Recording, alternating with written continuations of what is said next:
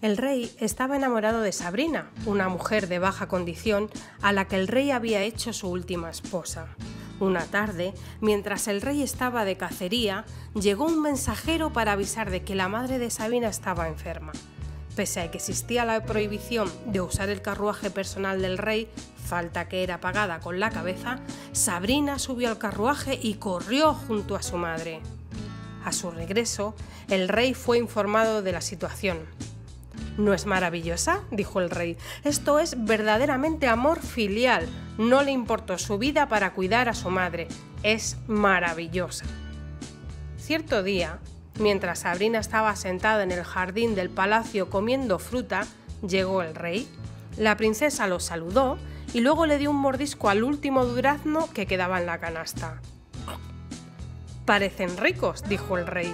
Lo son, dijo la princesa, y alargando la mano le cedió a su amado el último durazno. Cuánto me ama, contestó después el rey. Renunció a su propio placer para darme el último durazno de la canasta. ¿No es fantástica? Pasaron algunos años y vaya a saber por qué el amor y la pasión desaparecieron del corazón del rey. Sentado con su amigo más confidente le decía, Nunca se portó como una reina, ¿Acaso no desafió mi investidura usando mi carruaje?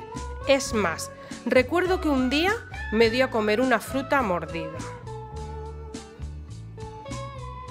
La mirada del amor, cuento de Jorge Bucay. Cuentos para pensar de Hotel Rural en la Vera, la Casa de Pasarón, Extremadura.